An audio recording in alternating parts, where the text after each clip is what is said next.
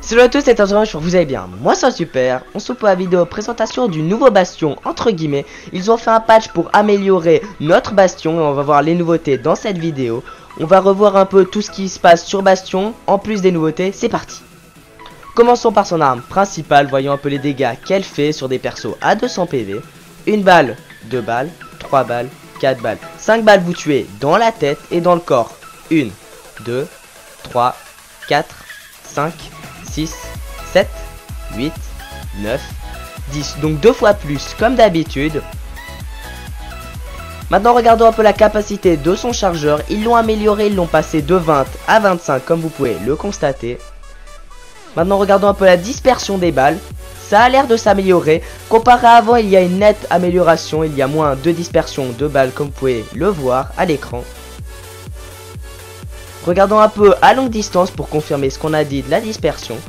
Comme vous pouvez clairement le constater, c'est qu'on touche beaucoup mieux qu'avant. Avant, ça serait parti beaucoup plus à l'ouest et là, beaucoup moins. Passons à son deuxième mode de tir qui n'est autre que la tourelle. Faisons des tirs dans la tête. Et ben non, ils les ont enlevés. Plus possible de faire des headshots en mode tourelle. Et dans le corps, ça ponce toujours autant vite qu'avant. Passons en mode tourelle. Comme vous le constatez, c'est beaucoup plus rapide. C'est passé d'une seconde 5 à une seconde si mes souvenirs sont bons. Ça paraît rien, mais ça fait la différence. Maintenant, sa capacité de chargeur est à 300 balles au lieu de 200 balles. Ils ont mis 100 balles en plus. C'est une bonne chose, comme ça on n'a pas besoin de recharger chaque 2 secondes. En parlant du rechargement, il est toujours de même lenteur. Regardons un peu la dispersion des balles. Nettement, dès le début, on peut voir qu'il y a plus de dispersion que son arme principale. Avant, c'était l'inverse. L'arme principale avait plus de dispersion que la tourelle. Je trouve que c'est une bonne chose. Plus de balles, plus de dispersion, c'est un bon compromis.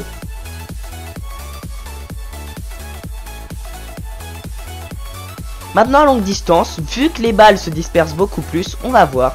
Là, on l'aurait sûrement déjà tué normalement, mais vu qu'il y a plus de dispersion, c'est plus dur à le tuer et plus long. Son ulti a subi quelques modifications, on les verra ultérieurement, mais là passons à son mode tank. Comme vous voyez, il est toujours à 300 PV, avant il passait à 500 PV, mais ça, c'était avant. Ce robot, ça one shot à côté 2 balles. Chaque petit robot a 200 PV chacun, pour la petite information. On va se mettre en mode tank, on va savoir combien de balles il peut tirer pendant son tank. 1, 2, 3, 4, 5, 6, 7, 8. Et on s'arrête là, il peut tirer une balle par seconde. À longue distance, est-ce que ça change les dégâts? On va le voir. Il tire. Non, ça one shot si vous êtes bien sur le robot.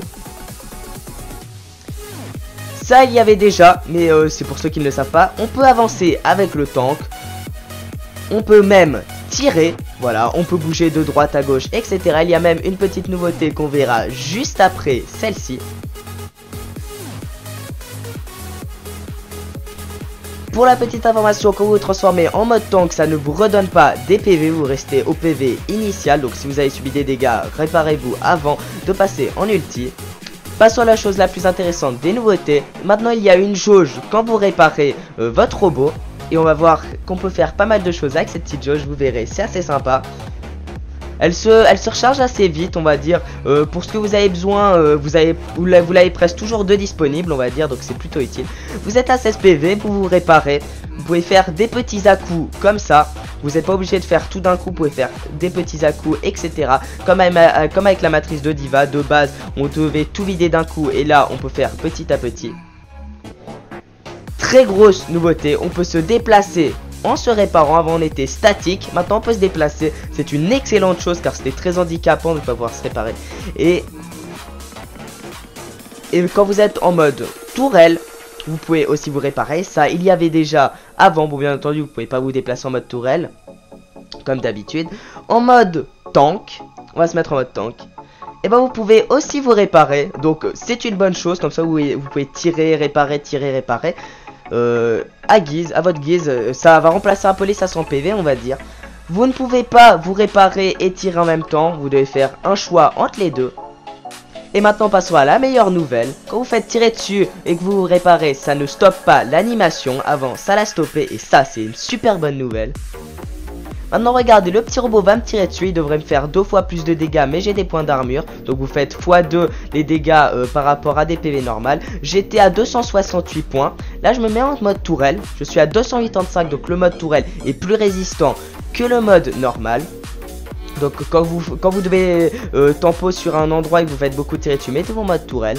En tant qu'on va tout de suite voir, 280 donc moins résistant que le mode tourelle, mais plus résistant que le mode normal.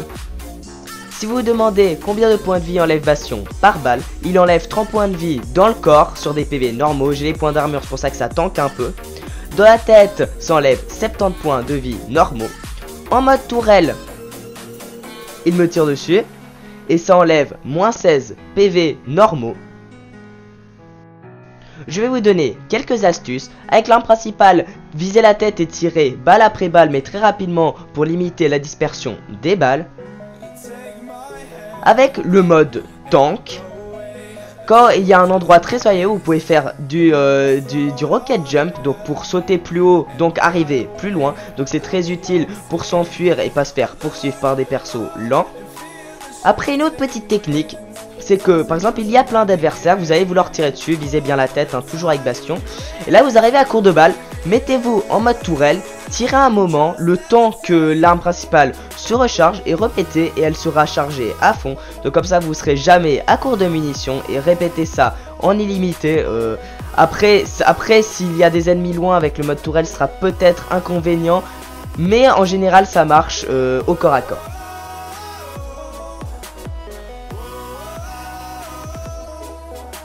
Passons à une autre petite astuce. Si vous êtes au, euh, enfin si vous êtes sur une plateforme élevée et qu'il y a des gens en dessous de vous, mettez-vous en mode tourelle. Quand, enfin pendant que vous êtes dans les airs, mettez-vous en mode tourelle. Quand vous arrivez en bas, ça fera un effet de surprise et vous pourrez bourriner. Après, s'ils sont beaucoup et qu'il y a par exemple un Reinhardt, ce sera peut-être pas la meilleure des choses à faire, mais ça peut toujours être utile. Pour récapituler, maintenant que Bastion a beaucoup de balles mais que la dispersion est très élevée, ça va surtout être un tueur de tank vu qu'ils ont une grosse hitbox, ça va pas être très dur de les toucher et surtout se battre à courte distance avec Bastion, surtout quand il est en mode tourelle. Donc j'espère que la vidéo en ma compagnie vous aura plu. Sur ce, c'était Azora, n'hésite pas à t'abonner, liker, partager, commenter. Ça fait toujours plaisir et ça lâche à danser. Sur ce, ciao et portez-vous bien